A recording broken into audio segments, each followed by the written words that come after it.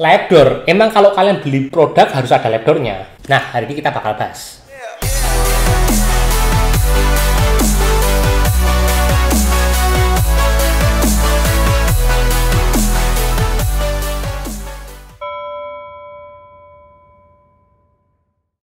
Nah, akhir-akhir ini kan aku banyak lebih aktif di TikTok. Nah, setiap aku posting atau beberapa temanku posting soal sebuah brand baru atau sebuah whey protein, itu selalu ada yang komen kayak masalah, kalau nggak lebar nggak valid, kalau nggak lebar percuma aja.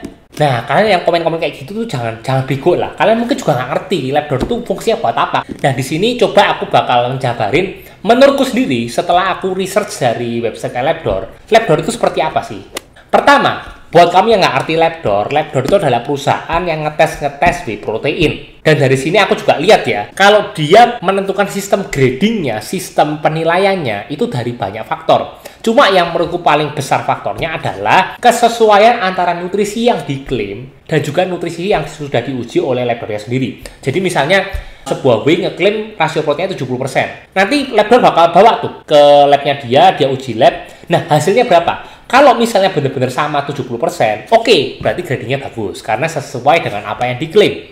Menentukan bagus enggaknya whey protein, kamu tidak bisa melihat dari satu faktor, tapi kamu harus melihat dari dua faktor. Pertama adalah dari nutrition fact-nya, yang kedua baru dari akurasi nutrisinya. Karena percuma juga kalau kalian beli brand yang anggap katakanlah hasilnya sesuai. Tapi rasio protein cuma 40-50%. Ya menurutku itu kamu agak percuma juga beli B ya. Karena memang rasio protein 40-50% kamu beli sisanya beli apa? Beli filler kan, beli karbohidrat, beli fat. Sedangkan kita beli whey protein itu cari proteinnya. Tapi yang nomor dua lebih kampret lagi. Kalau kamu beli sebuah whey protein yang rasio 80-90%, tapi setelah diuji lab keluarnya cuma 40-50%. Nah itu lebih kampret. Kenapa? Karena nggak jujur at least kalau kamu yang beli yang pertama itu kamu beli sesuai dengan apa yang kamu lihat di depan matamu sebelum kamu beli. Kamu baca nutrition fact-nya, oke, okay, aku sesuai, aku mau beli, oke, okay, hasilnya sesuai. Tapi kalau yang nomor dua kan kamu sudah beli, oke, okay, ini whey protein bagus banget nih, harganya murah nih, aku beli. Setelah diuji lab kok cuma 40-50%, nah itu yang lebih kampret. Jadi ini saling bersinergi ya, kamu nggak bisa bilang whey bagus cuma dari satu sisi, tapi kamu harus dari dua-duanya.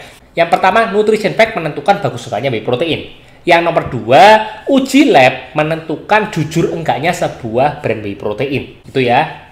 Apakah Labdor bisa menjamin kalau apa yang dites di Labdor dan apa yang kalian beli di Indonesia barangnya juga sama? Karena aku nggak tahu ya apakah tiap batch produksi dikirim ke Labdor baru dia uji coba. Apakah hasilnya sama terus apa tidak? Aku nggak tahu karena agak jarang diupdate kalau buat website Labdor bukan tiap batch setahu tapi tiap kayak ada sertifikasi ada masa expirednya. Jadi kita nggak bisa menentukan apakah batch 1 sampai batch 2 itu 100% sama. Dan menurutku ya karena tadi, karena kamu nggak bisa menentukan bagus enggaknya whey protein cuma dari satu sisi, ya Labdor ini juga termasuk yang nomor dua, yang menentukan apakah nutrifaknya akurat atau tidak, bukan menentukan bagus enggaknya sebuah whey protein.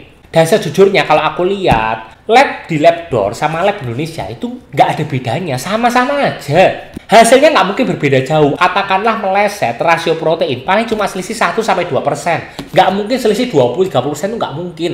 Dan menurutku kalau uh, aku nggak tahu ya, karena kalau aku baca dari websitenya Labdor, Labdor itu menggunakan dua cara mencari uang. Di sini ditulis ya di websitenya ya. Yang pertama dari komisi marketplace, yang nomor dua adalah dari offering service. Jadi dia mengoffering dan aku nggak tahu sistem offering service ini seperti apa. Karena kalau aku baca dari websitenya dia, dia itu ngambil sampel random dari market. Oke, okay, tapi kalau Labdor yang dulu memang kebanyakan brand yang dites itu kan brand-brand uh, luar, brand-brand Amerika sendiri. Karena BTW buat kami yang nggak tahu, Labdor ini berada di San Francisco. Dan menurutku kalau kalian lihat Labdor sekarang, itu kan banyak yang mendominasi brand Indonesia sama brand India. Nah, aku nggak ngerti ya Maksudnya cara dia beli sampel di Indonesia itu seperti apa? Apakah dia beli dari Tokopedia, Shopee, atau dari TikTok? Aku nggak tahu gimana sistemnya. Jadi menurutku daripada jauh-jauh kamu lihat Labdor, mending kamu beli sebuah whey protein. Kemasan kecil aja, 2 LB.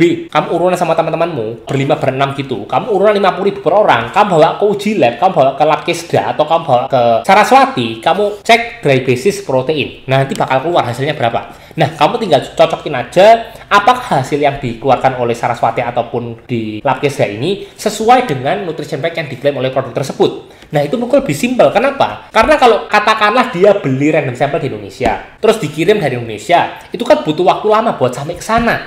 Dan kena panas, kena segala macam dan belum tentu juga sampai sana langsung diuji lab. Kita kan juga nggak ngerti sistemnya kayak apa. Jadi menurutku daripada kamu jauh-jauh ke sana ngelihat lab door, mending kamu ke Saraswati deket sama tempatmu di kotamu juga ada, terutama buat kamu Jakarta ya. Setahu aku Saraswati Jakarta tuh lebih banyak. Dan kamu tinggal bawa uji lab, kalau hasilnya sesuai, oke okay, kamu lanjutin pakai bareng teman-temanmu. Kalau nggak sesuai, ya udah kamu silakan kamu ganti brand whey protein. Simple kan? Itu dan itu lebih mudah juga kamu nggak nunggu lama juga dan kamu juga yakin karena kamu beli dari official dan kamu yakin produk yang kamu beli dan produk yang kamu biasa konsumsi itu juga sama simple kan jadi menurutku sebelum membeli produk yang kalian harus pertama lihat adalah nutrition fact-nya. Yang kedua baru kalian harus lihat dari brandnya karena brand sama dengan trust, brand sama dengan kepercayaan. Kalau brandnya sudah aneh-aneh, udah mending kalian nggak usah aneh-aneh lah.